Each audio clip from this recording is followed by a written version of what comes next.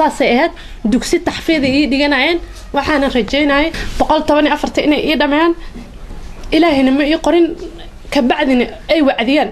Meesha midiw aan ka soo fadhiistay maanta ma jeclayn. Waxaan jeclahay ayagoo ka wacdinayo sida shiiqul umul iyo shiiqaq badan ayagoo ka wacdinayo in aan arko laakiin ilaahay ma ii qadarin. Alxamdulilah waxay noqotay murugo xanuun badan kadib markii uu soo baxay dhawaq sheegaya in magaalada beledweyne ee xarunta gobolka hiiraan uu mar qura aabba soomaaliyeed.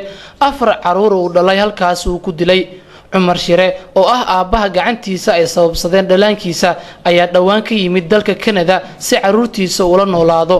Nolosha adduunyada waa meerto. Aabbo cumar caruurtiisa iyo xaaskiisa waxay muddo wada qaateen nolol farxad badan iyagoo xilligaasi siyaabo kala duwan ugu noolaa waddamada kenya ethoobiya iyo uganda hooye qadre xuseen cadaawe oo ah hooyada dhashay carruurta la dilay ayaan kula kulmay magaalada muqdisho.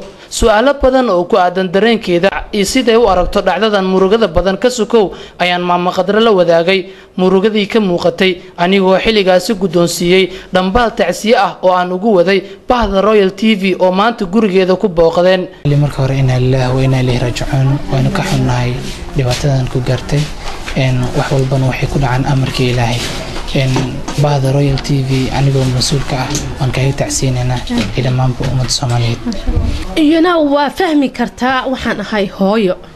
Because taleefonka hooyada ayaa la soo wacay waxaa la yidhi saasaa jirto.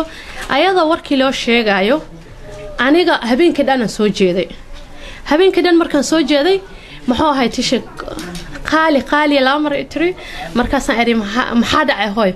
Wax ma maqashay tiri maxaa la iga qarinaha eri ma ii sheegtiin marka waxaa la yidhaahay muxuu ahay tisheeg dhibaatadaasaa dhacday.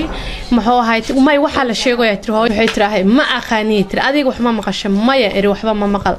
Ma ii sheegtiinaa idhaahay taleefonkii hooyaa laga soo badiyay ani wax taleefon ii soo diray ma waanan jiifo waaye daata habeenkii anoo soo jeedo haddana subaxii waan jiifo waaye sidii aan u istaagay waxaan iri waxaa sheegaysin oo qarinaysin ma ii sheegtiin. Markaasaa la yidhi ma naqaana wallaahi. Markii dambe taa dib la iiga sheegay waxaa la yidhi warka lama hubo laakiin cumar shire carruurta dilaa la yidhaahay waa naxay laakiin ma u nixin heerkii loogu talagalay because carruurta saa-idan u jeclahay. Waxaan idhi subxaan allah musqushaan galay waan soo qubaystay waan soo weysiistay dugsiga iga soo horjeedan tagay shiiqaan u tagay. Waxaan idhi mucjisooyinaa la sheegayaa motilfajaa la sheegayaa in caruurteydii la dilay marka aaboodna ay ku sababsadeen marka ilaa xad inuu iimaankayga tago ma u baahni qur'aan isaar shiiqii ardaydii qur'aan isaareen falilaahi alxamdi. Anigoo iimaankayga qaba gurigan ku soo laabtay. Hooye qadre xuseen cadaawe ayaa ii sheegtay in maqal ahaan horay ee u haysatay warar ah in waddamada caalamka ay ka dhaceen. Aabbo uwadkiisa ku xadgudbay laakiin dhacdada tan la mid ah ay iyadu qabsatay. Laakiin waqtigan iyada ay sabarsan tahay shalay caruurtaasi eebba uu siiyey maantana isaga uu ka noqsaday. Walaahi weligay ma maqleynin weligay ma maqleynin soomaaliyan sideedaba anigoo hadda dhowr iyo toban jiraan waqtina ethoobiyan joogay waqtina kenyaan joogay dhowr iyo toban sano anigoo jiro aan inta aan ka baxay muqdisho muqdishoan ku dhashtay aniga. Ilaahay haddee wuxuu qadaro wax aan ka bedeli kara ma jirto dhacdooyin waan maqlay laakiin inta badan dad aan ilaahay aaminsaneyn yurubta iyo meelahaas inay ka dhacaan. Waan maqlay yaxye sakariye idris iyo yunis oo afartuba ah caruurtii shalay magaalada beledweyneha xarunta gobolka hiiraan oo aabbahood ku gooracay ayaa noqotay dhacdadii ugu horeysay ee ka dhacda geyga soomaaliya. Aweys maxamuud jilco royal t v muqdisho